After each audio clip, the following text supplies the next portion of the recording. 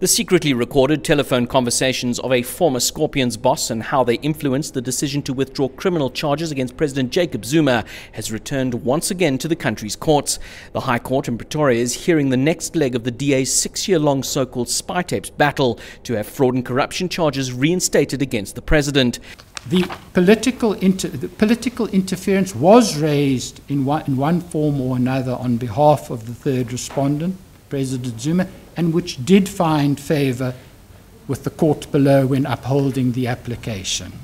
Zuma was charged in 2007 for his alleged involvement in the controversial arms deal and accused of using his political influence to secure contracts for convicted fraudster Shabir Shaik. Prosecution's boss Mokotedi Mpshe withdrew the charges in 2009 following representations from Zuma which included the spy tapes, the secretly recorded conversations of then Scorpions head Leonard McCarthy. Advocate Sean Rosenberg told the court that Mpshe's decision was an emotional and irrational one made only after listening to the spy tapes. He says days earlier the prosecuting team and independent legal counsel had met and agreed that the case against Zuma was strong. Rosenberg says the president would not have been prejudiced if the case proceeded. The NPA has argued that McCarthy's conduct should not be minimized and that he manipulated the prosecutorial process in an attempt to influence the ANC's Polokwane conference in December 2007.